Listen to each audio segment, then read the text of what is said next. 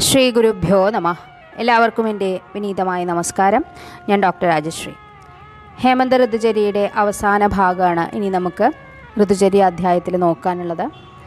ശാസ്ത്രഭാഗത്തിലേക്ക് കടക്കാം.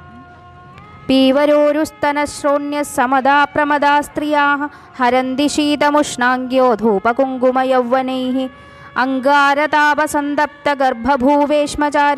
ശീതപാരുഷ്യജനിതോ ന ദോഷോ അയമേവ വിധിക്കാര്യ ശിശിരേപി വിശേഷത തദാ ഹി ശീതമധികം രൗക്ഷ്യം ചാദാനകാലജം.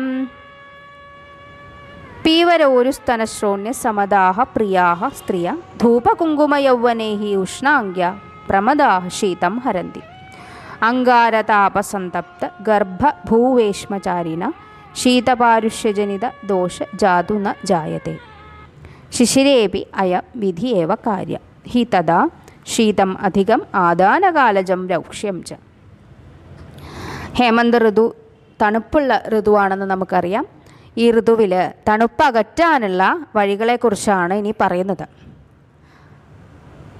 പീവരോരു സ്തനശ്രോണ്യ സമതാ പ്രമദാ സ്ത്രീയ.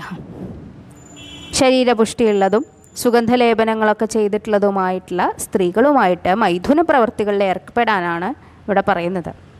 ശരീരത്തിന്റെ ഊഷ്മാവ് നിലനിർത്താൻ ഇത് സഹായിക്കും. ചരകസംഹിതയിലൊക്കെ പ്രകാമം മൈഥുനം ചെയ്യാനാണ് പറയുന്നത്.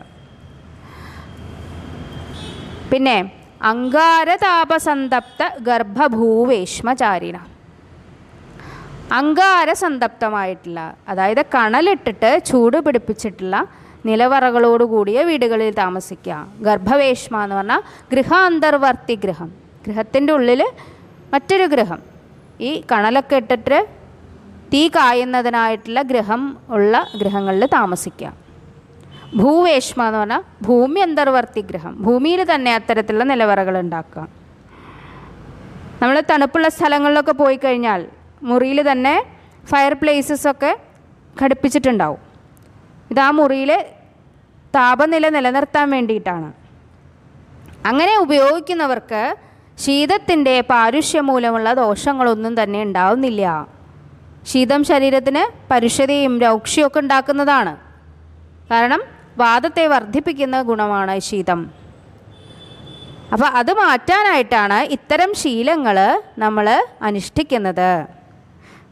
നമുക്കിവിടെ എല്ലാ കാലാവസ്ഥകളിലും മിതമായിട്ടുള്ള തോതിൽ ചൂടും തണുപ്പും ഒക്കെ അനുഭവപ്പെടുന്നതുകൊണ്ട് നമുക്കിതിനെക്കുറിച്ച് കൂടുതൽ അറിയില്ല. എന്നാൽ മറ്റുള്ള തണുപ്പുള്ള നാടുകളിലൊക്കെ ഇത്തരം സജ്ജീകരണങ്ങൾ അവർക്ക് സ്വതവേ തന്നെ ഉണ്ടായിരിക്കും അല്ലാതെ അവർക്ക് തണുപ്പിനെ അതിജീവിക്കാൻ സാധ്യമല്ല. അപ്പോൾ അത്രയാണ് ഹേമന്ത ഋതുചര്യയിൽ പറയുന്നത്. ചരകസംഹിതയിൽ പറയുന്നു ശീതേഷു സമൃദ്ധം സേവ്യം യാനം ശയനമാസനം പ്രാവാരാജിന കൗശേയ പ്രവീണി കൗധവാസ്ത്രതം എന്നൊക്കെ നമ്മൾ കഴിഞ്ഞ ക്ലാസ്സിൽ കണ്ടു. പുറത്തിറങ്ങുമ്പോൾ യാത്രയിൽ ഉറങ്ങുമ്പോൾ ഇരിക്കുമ്പോഴൊക്കെ നമ്മൾ ദേഹം മുഴുവനും മൂടിയിട്ട് വേണം ഇരിക്കാൻ ഈ തണുപ്പ് കാലത്ത്. എന്ന് ചരകാചാര്യൻ പ്രത്യേകം പറയുന്നുണ്ട്. ഉദമന്ധം ജേന്താകസ്വേദം ഇതൊക്കെ ഈ ഒരു ഋതുവിലാണ് ചെയ്യാൻ പറയുന്നത്.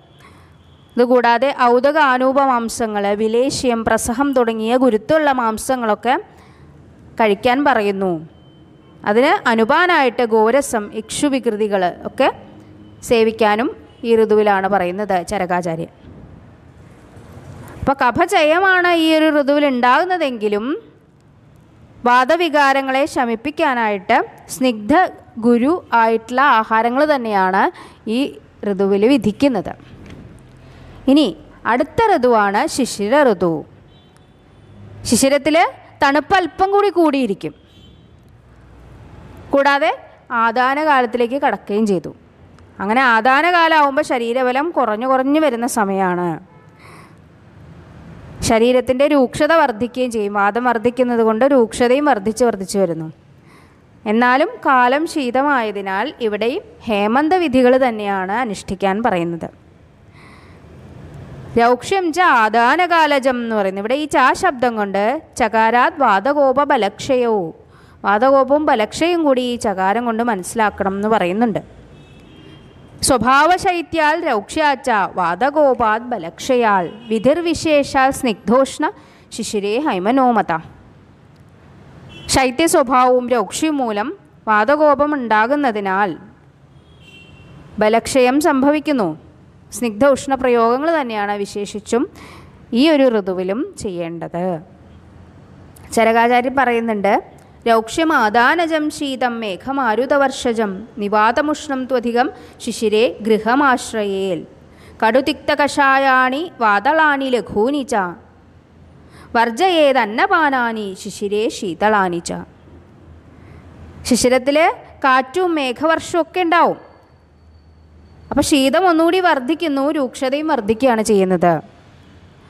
അപ്പോൾ കാറ്റൊന്നും ഏൽക്കാതെ ഉഷ്ണഗ്രഹത്തെ ആശ്രയിച്ച് ഗൃഹത്തിന്റെ ഉള്ളിൽ തന്നെ കഴിയാനാണ് വിധി. വാദവർദ്ധകങ്ങളായിട്ടുള്ള ആഹാര വിഹാരങ്ങളെ പൂർണമായിട്ടും ഒഴിവാക്കുകയും വേണം. കടുതിക്ത കഷായ രസങ്ങൾ ലഘുക്കളായിട്ടുള്ള ദ്രവ്യങ്ങൾ ശീതളങ്ങളായിട്ടുള്ള അന്നപാനങ്ങൾ ഇതൊക്കെ ഈ ഋതുവിൽ വർജിക്കണം എന്ന് തന്നെ പറയുന്നു.